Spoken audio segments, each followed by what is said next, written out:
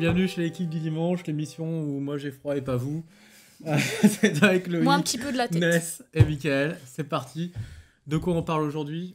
C'est moi qui commence. C'est toi qui Eh ben, commence. c'est parti. C'est toi le chef. C'est moi le chef. Alors aujourd'hui, je vous parlais d'un scénariste de comics qui s'appelle Jonathan Hickman, qui s'est fait connaître euh, il y a quelques temps déjà avec euh, deux séries chez euh, Image Comics ou Image Comics, euh, notamment euh, Nightly News qu'on voit ici et Pax Romana. Pourquoi est-il connu? Pourquoi j'en parle? Parce que déjà, il a un style assez intéressant, euh, très orienté technologie, un peu comme euh, Warren Ellis. Il aime bien créer une espèce de, cohérence dans ses mondes et au fur et à mesure, euh, au fur et à mesure de ses titres même, un petit peu comme ce que fait Grant Morrison.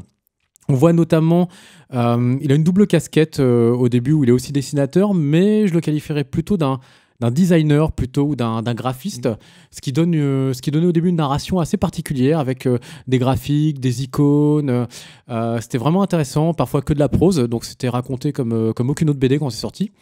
Qu'est-ce que ça veut dire en fait? Alors, bah, ça veut dire par exemple que euh, on va avoir euh, un rond avec marqué soleil dessus directement. On va avoir euh, un, un graphique implanté dans la page pour expliquer des choses. D'accord. C'est euh, très design. c'est- très très design. C'est assez intéressant. Dans, dans Pax Romana, il y a des pages qui sont uniquement des fresques temporelles avec euh, des descriptions. Donc c'est euh, ça se lisait comme rien d'autre. Le ton était plutôt sympa. Nightly News fait penser un petit peu à du, du choc pas la nuque, le- l'auteur Mmh, de Fight Club. ouais.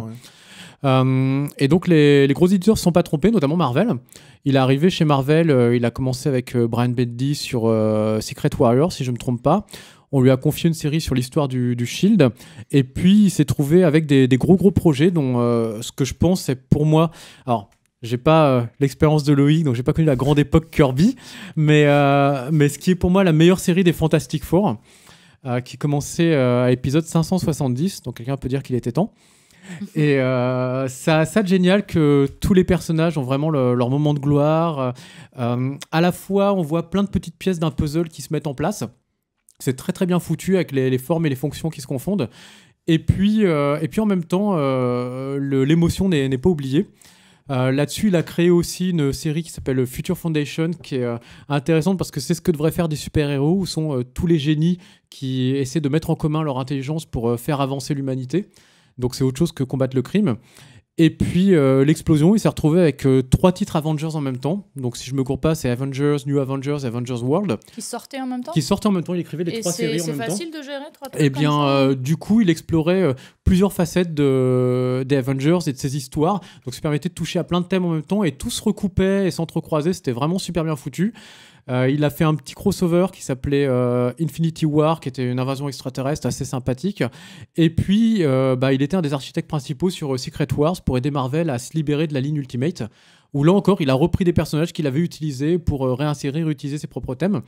Et maintenant, il refait essentiellement des, des séries chez Image, notamment bah, mon préféré du moment qui est Black Monday Murders, qui donc mélange un peu euh, magie, économie, si vous aimez les choses un peu comme euh, euh, le Magie monde. et économie. Exactement, où les, les banques contrôlent le monde, mais un peu Ah. comme si, euh, comme s'ils pactisaient avec des, des créatures un peu bizarres. D'accord.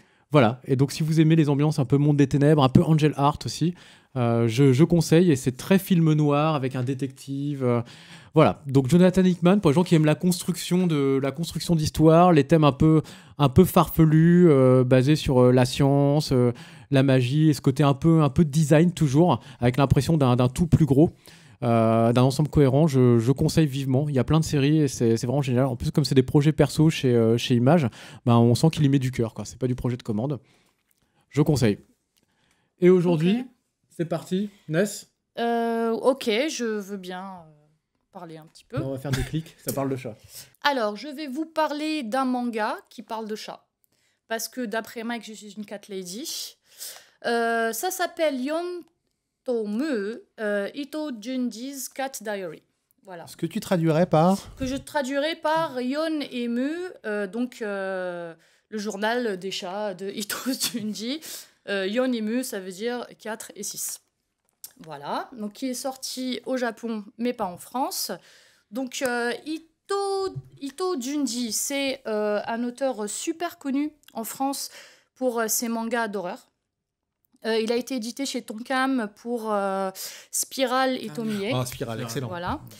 Euh, donc cette fois, il nous a pondu un manga que moi, je pensais être un manga d'horreur. Donc je l'ai acheté parce qu'une copine m'a demandé de l'acheter. Elle m'a dit que c'était génial. Et j'ai mis un an avant de le lire parce que j'avais peur de ce qu'il y avait dedans. Et puis je, me suis aventurée et je me suis rendu compte que c'était pas du tout un manga d'horreur. C'est un manga super mignon et super marrant, mais fait avec les codes de l'horreur. Donc les persos, euh, ils ont pas d'yeux, enfin ils ont pas de pupilles. Les cernes comme ça, les traits très très noirs. euh, euh, très très un peu brouillon à certains Charbonneux. endroits, voilà. Euh, des scènes, euh, t'as as des, des cases avec des, des- vraiment des monstruosités dedans, une femme avec une tête de chat euh, horrible. Lui, quand il va faire bi- des bisous à ses chats, on, on a l'impression qu'il va les manger. et il est dessiné d'une manière vraiment très effrayante. Et en fait, c'est l'histoire de l'auteur, donc Junji, Ito Junji, qui vient de se marier à un âge assez avancé. Et sa femme débarque avec son chat. Et elle dit Oh là là, j'aimerais bien un autre chat. Donc elle lui ramène un autre chat. Donc le gars qui a jamais eu de chat de sa vie se retrouve avec une femme, un chat euh, Hitler Cat, c'est comme ça que tu m'avais dit que ça s'appelait, qui le fait super flipper. Et il y a un autre chat un peu mignon qui se dit Ah bah peut-être avec celui-là, il va se passer des trucs sympas. Et en fait, c'est sa vie avec eux, sa vie de tous les jours, et euh, son amour qui grandit petit à petit pour ces chats, qui sont au début, qui en ont au début rien à foutre de lui. Et donc, il y a plein de petites scénettes pour les gens qui ont des chats et qui adorent les chats. Ils vont direct se Comme reconnaître, par exemple. Ben, moi, en fait, j'ai aimé parce que j'avais l'impression de retrouver mon Magneto. Ah, mon chat s'appelle Magneto. Coucou Magneto, j'espère que tu nous regardes. Donc, euh, le chat qui se débarque sur la table et qui se lèche le trou du cul, euh, le chat qui essaie de te bouffer euh, ta nourriture, le chat qui t'ignore complètement ou qui joue avec un verre et pas du tout avec la souris que tu lui as acheté. C'est les trucs de base quand on a un chat. Et voilà, donc ce que j'ai vraiment aimé là-dedans, bah, c'est ce, ce traitement en fait. Donc un manga drôle mais fait comme un manga d'horreur. Et aussi la vie de tous les jours des chats et d'un auteur de manga. Donc on le voit bosser, on le voit euh, être en mode euh, deadline, bosser comme un fou, on le voit avec sa femme. Euh, sa mère est tout le temps là, par exemple. Donc, on voit la vie de couple un peu au Japon. Euh, euh, avec sa femme, ils ont des lits séparés. Ils vivent dans la même chambre, mais ils ont des lits séparés. Donc, j'ai trouvé que c'était vraiment très, très petite scénette de la vie quotidienne. C'est un mélange entre mes voisins les Yamada et Michael, comme ça Euh, oui, si tu veux. Et j'ai trouvé ça vraiment super mignon. Et bon, bah, si vous lisez pas le japonais, j'espère que ça sera un jour traduit en français. Et bah voilà. C'était cool. Euh, du coup, maintenant, C'est à moi. voilà, je pense que c'est Loïc. euh, Alors, moi, je vais vous parler de Alison Bechdel, euh, Fun Home.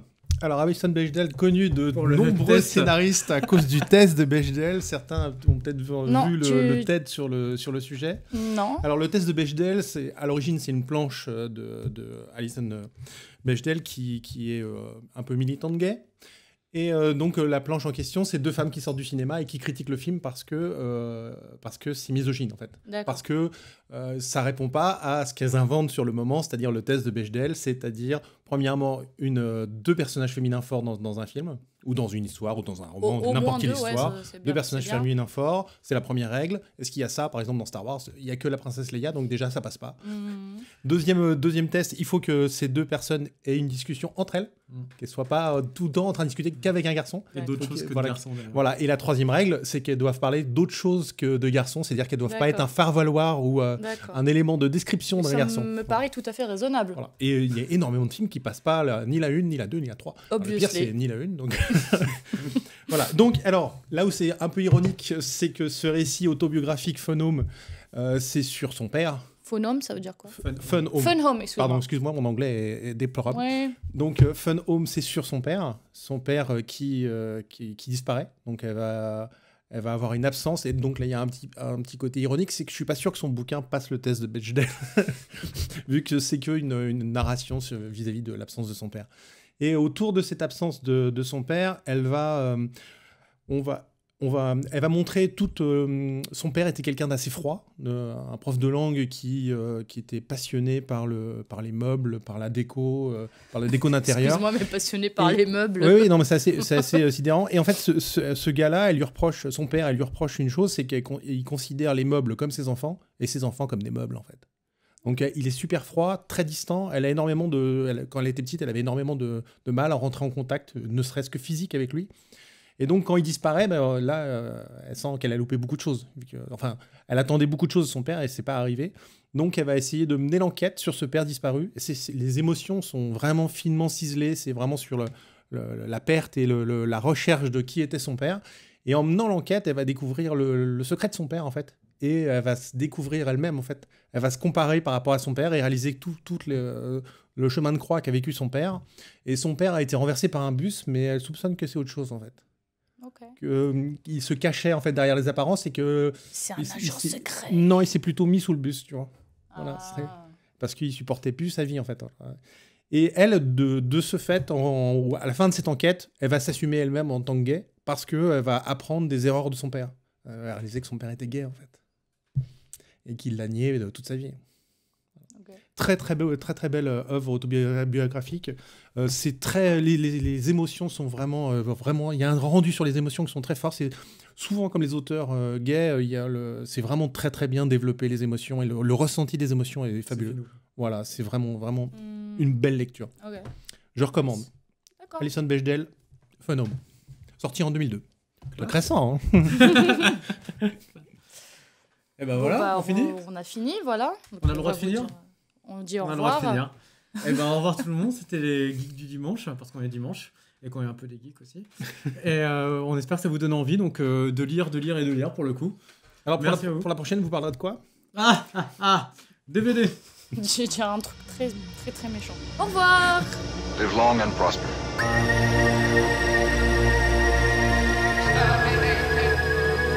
Exterminated, extermination, extermination. It's over 9,000! Moi, je parlerai de Belladonna.